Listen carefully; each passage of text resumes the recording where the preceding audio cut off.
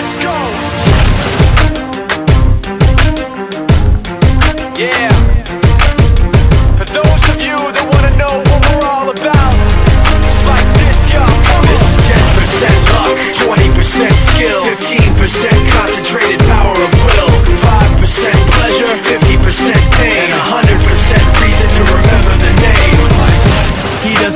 Name up in lights. He just wants to be heard, whether it's the beat or the mic. He feels so unlike everybody else alone In spite of the fact that some people still think that they know him But fuck him, he knows the code. It's not about the salary, it's all about reality And making some noise, making a story Making sure his click stays up. That means when he puts it down, Tox picking it up. Let's go. Who the hell is he anyway? He never really talks much. Never concerned with status but still even them starstruck. Humble through opportunities despite the fact That many misjudge him cause he makes a living from writing raps. Put it together himself, now the picture connects Never asking for someone's help or to get some respect. He's only focused on what he wrote His will is beyond reach. And now it all unfolds The skill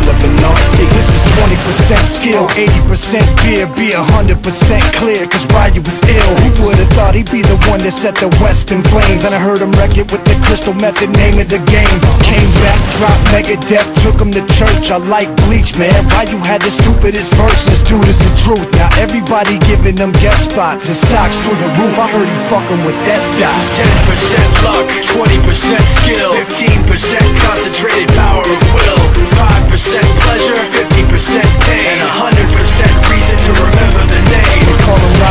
sick and he's spitting fire and Mike Got him out the dryer, he's hot. Found him in Fort Minor with top But a fucking nihilist. Porcupine He's a prick, he's a cop. The type women wanna be within rappers. Hope he gets shot. Eight years in the making Patiently waiting to blow. Now the record with your notice Taking over the globe. He's got a partner in crime. His shit is equally dope. You won't believe the kind of shit that comes out of this kid's throat. Top He's not your everyday on the block. He knows how to work with what he's got, making his way to the top. He often gets a comment on his name. Asking him, was it given that birth or doesn't stand for an acronym? No, he's living proof.